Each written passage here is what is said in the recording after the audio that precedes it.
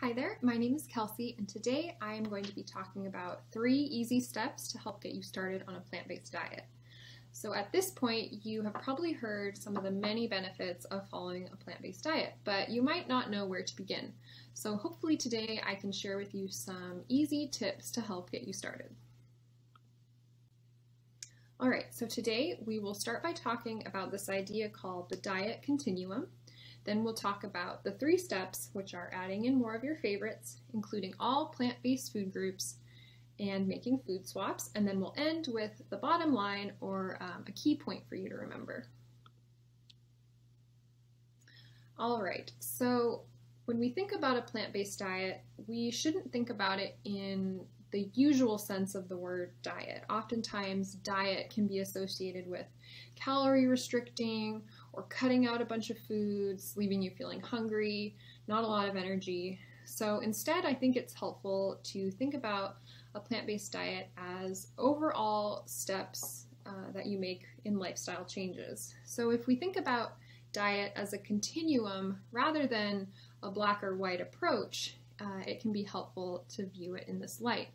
So a plant-based diet can include, it can look different for everyone, and it can include vegan diets, vegetarian diets, Mediterranean diets, but the idea here is including more plant foods in your diet. Uh, and the more plant foods that you include, the farther to this right side of the continuum you will be. All right, so the three easy steps. First is to add more of your favorites. Second is to include all plant-based food groups. And third is to make food swaps.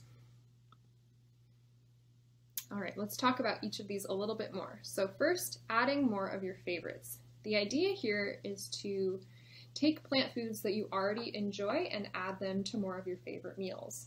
So instead of filling your plate with the main dish, you can fill half the plate with whatever that favorite vegetable is, and then use the main dish as more of a side dish.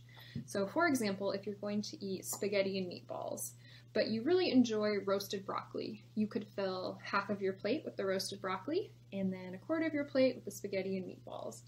This still allows you to enjoy your favorite food, but it allows you to also incorporate more plants into the meal. All right, the second step is to include all plant-based food groups. This is really important. So the picture here shows the Healthy Eating Plate, which is a plate that was designed by Harvard, and it's a good visual that shows all of the essential macronutrients that we need to include in a meal to make it balanced. So we need carbohydrates, we need proteins, and we need fats to make a balanced meal. All right, so let's talk about each one of these a little bit more. First is carbohydrates. There are two classes of carbohydrates. The first is carbohydrates that are broken down into glucose or sugar that our body uses for fuel, for energy. And the second is carbohydrates that don't necessarily have a lot of that natural sugar, but they have fiber. And I have a whole separate video on fiber, so check that out for more on that topic. But today we're going to focus on those carbohydrates that break down into glucose. So these are things like fruit, starchy vegetables like root vegetables, and whole grains. And it is really important to include this category in a plant-based diet. Uh, including starchy vegetables and whole grains can really help to give it that hearty, warm meal um, rather than just eating green leafy vegetables, which may not feel as satisfying, but it's in including these starchy carbohydrates that you can get that feeling of heartiness.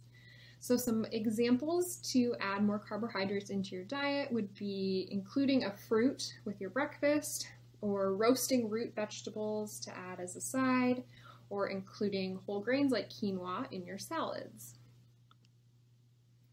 All right, the next macronutrient is protein, and protein is really important to include in a plant-based diet to support the growth and repair of tissues in the body. Now, oftentimes people will question, can you get enough protein from plants? And the answer is absolutely yes, you can.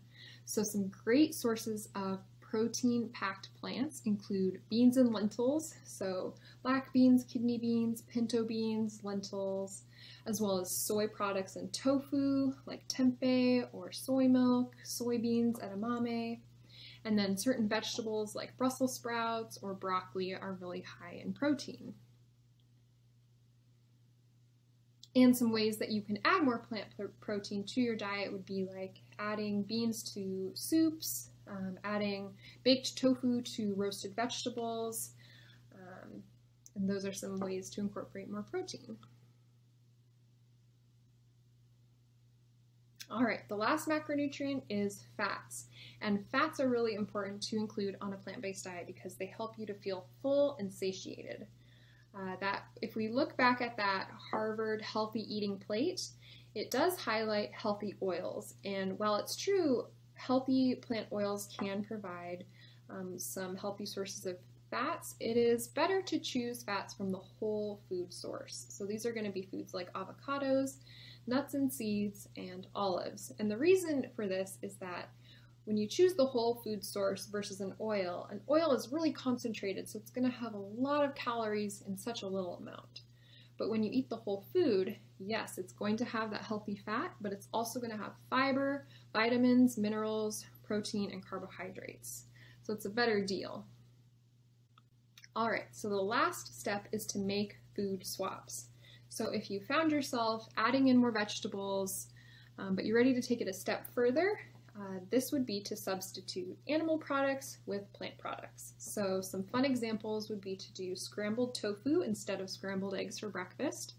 If we go back to our spaghetti and meatballs example, you could try a lentil-based meatball instead of a regular meatball and you could substitute banana nice cream for regular ice cream. And this allows you to still enjoy some of your favorite foods, but more with a plant bias. And I want to leave you with this. The bottom line is just include more plants. This will point you in the right direction if we think back to that continuum. It'll point you in the right direction to help you transition to a whole foods plant-based diet. Remember, it doesn't have to be an all or nothing approach. Every small step that you take to including more plants in your diet will make a huge difference.